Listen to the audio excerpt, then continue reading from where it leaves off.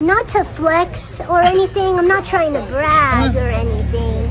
But I'm pretty sure I'm in the best relationship with the most amazing person I've ever known. Look at them. Look at them. Good job. Good job.